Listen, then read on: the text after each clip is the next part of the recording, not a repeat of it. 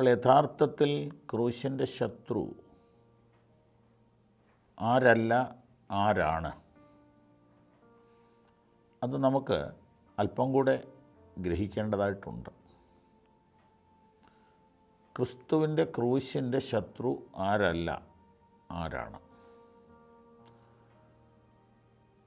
ചില വേദ പണ്ഡിതന്മാർ അഭിപ്രായപ്പെടുന്നത് സുവിശേഷ വിരോധികളാണെന്ന്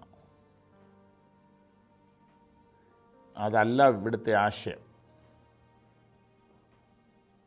ക്രിസ്തുവിന്റെ കൂടെ നടക്കുകയും ക്രിസ്തുവിന്റെ നാമം ധരിക്കുകയും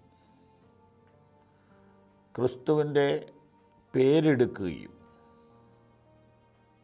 ക്രിസ്തുവിന്റെ പേരിൽ സമ്പന്നരാകുകയും സമ്പന്നതയുടെ മട്ടുപ്പാവിൽ ക്രിസ്തുവിന്റെ കുരിശുമാലയും അണിഞ്ഞ് സുഖജീവിതം നയിക്കുകയും ചെയ്യുന്നവരെ അല്ലേ കർത്താവ് ഉദ്ദേശിക്കുന്നത്? ക്രിസ്തുവിന്റെ നാമമാണ് ധരിച്ചിരിക്കുന്നത് ക്രിസ്തുവിന്റെ ക്രൂശാണ് ധരിച്ചിരിക്കുന്നത്.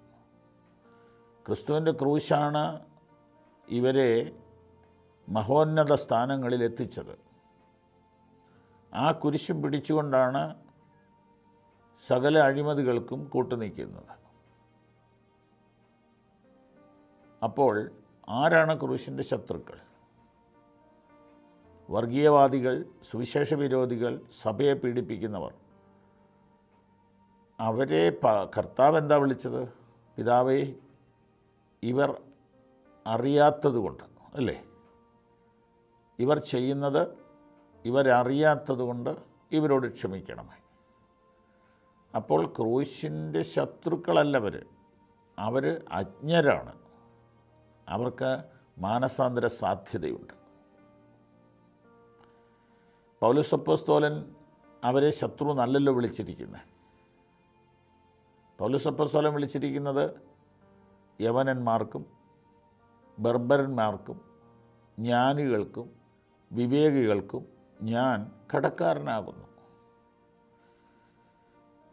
എന്നാലാവോളം അവരുടെ സുവിശേഷം അറിയിപ്പാൻ ഞാൻ ഒരുങ്ങിയിരിക്കുന്നു. ഇനിയും യഹൂദന്മാരെക്കുറിച്ച് എന്താ പോലീസ് പറയുന്നത് സഹോദരന്മാരെ അവർ രക്ഷിക്കപ്പെടണമെന്ന് തന്നെ എന്റെ ഹൃദയവാഞ്ചയും ദൈവത്തോട് ഇടപെടാതെയുള്ള പ്രാർത്ഥനയുമാകുന്നു. അവർ രക്ഷപ്പെടാൻ വേണ്ടി ഞാൻ പ്രാണത്യാഗം വരെ ചെയ്യാൻ ഒരുക്കമാണെന്ന് റോമർ ഒൻപതിൽ പൗലൂസ് പറയുന്നുണ്ട്. ആ വാക്ക് ഒത്തിരി അർത്ഥവ്യാപ്തിയുണ്ട്. ഇപ്പോൾ അത് വ്യാഖ്യാനിക്കാൻ സമയം എടുക്കുന്നില്ല. ഈ യഹൂദന്മാരും യമനന്മാരും ഒക്കെ ക്രൂശിന്റെ ശത്രുക്കളല്ല പിന്നെയോ? ക്രൂശിനെ മനസ്സിലാക്കാത്തവരാണ്. എന്നാൽ ക്രൂശിന്റെ ശത്രുക്കൾ ആരാണ്? പത്രോസിനെ പോലെയുള്ളവരാണെന്ന് നമ്മൾ കണ്ടു. ഇനി പിന്നെ ആരാണ്? പിന്നെ ആരാണെന്ന് ഞാനൊരു എന്റെ ബോധ്യം നിങ്ങളോട് പറയുമ്പോൾ പൂർണമായിട്ട് എടുക്കണ്ട. നിങ്ങളും കൂടെ പരിശോധിക്കണം.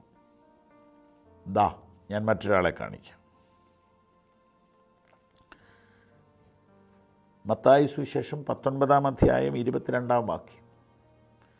യൗവനക്കാരൻ വളരെ സമ്പത്തുള്ളവനാകിയാൽ ഈ വചനം കേട്ടിട്ട് ദുഃഖിച്ചു പൊക്കളഞ്ഞു. അപ്പോൾ ക്രൂശിന്റെ ശത്രു ആരാണ്? സമ്പന്നർ. പക്ഷേ ഈ സമ്പന്നന്റെ ഗുണം കാക്കണോ? കാണണോ? അനന്തരം ഒരുവൻ വന്ന് അവനോട് ഗുരു നിത്യജീവനെ പ്രാപിക്കാൻ ഞാൻ എന്ത് ചെയ്യണമെന്ന് ചോദിച്ചതിന് അവൻ കർത്താവിന്റെ അടുക്ക വന്ന് നിത്യജീവൻ വേണമെന്ന് ആഗ്രഹത്തോടെ പറയുന്നു. കൽപ്പനകൾ അനുസരിക്കുന്നുണ്ടെന്ന് അഭിമാനത്തോടെ പറയുന്നു.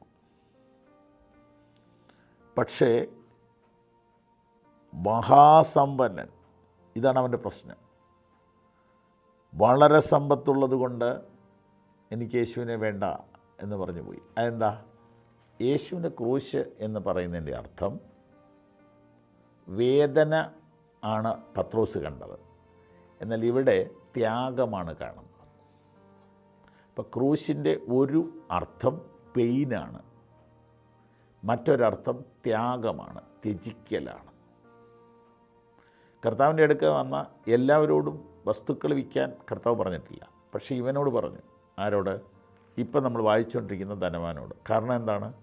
അവന്റെ ദൈവം അവന്റെ ധനമാണെന്ന് അവന്റെ മുഖത്ത് നോക്കുമ്പം കർത്താവിനറിയാം. അതുകൊണ്ടാണ് അവനോട് വിൽക്കാൻ പറഞ്ഞത്. അപ്പോൾ ക്രൂശിന്റെ ശത്രു ആരാണ്? ക്രൂശിന്റെ ശത്രു ദൈവത്തെ വേണം. പക്ഷെ ദൈവത്തെക്കാൾ അധികം ധനത്തെ സ്നേഹിക്കുന്നവൻ. യേശുവിനെ ഇഷ്ടമാണ്. പക്ഷെ യേശുവിനേക്കാൾ അധികം ധനത്തെ സ്നേഹിക്കുന്നവൻ. അവൻ ക്രൂശിന്റെ ആശയത്തിന്റെ ശത്രുവാണ്. ക്രൂശിന്റെ ആശയം എന്താണ്? ത്യാഗമാണ്. എന്തും സഹിക്കാൻ എന്തും ത്യജിക്കാൻ ഒരു മനസ്സില്ലെങ്കിൽ ക്രൂശിന്റെ മിത്രമായിരിക്കാൻ കഴിയയില്ല ഗാഡ് ബ്ലസ് യു. ഈ സന്ദേശങ്ങൾ തുടർച്ചയായി നിങ്ങൾക്ക് ലഭിക്കുവാൻ ഞങ്ങളുടെ വാട്സപ്പും ഫേസ്ബുക്കും ഫോളോ ചെയ്യുക.